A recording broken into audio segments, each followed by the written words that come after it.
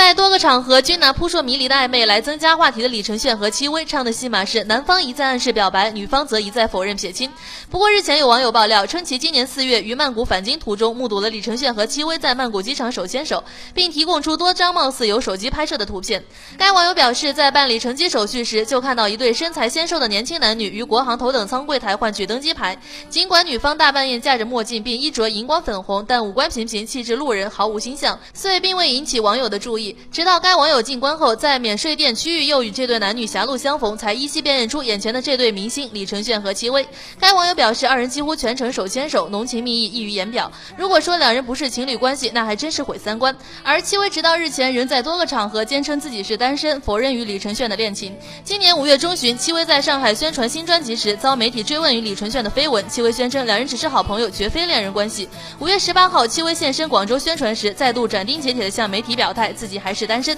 并继续一口否认与李承铉的恋情。而随着两人泰国机场牵手照片的公布，戚薇与李承铉的恋人关系不言而喻。戚薇瞬间沦为说谎精，遭到网友声讨。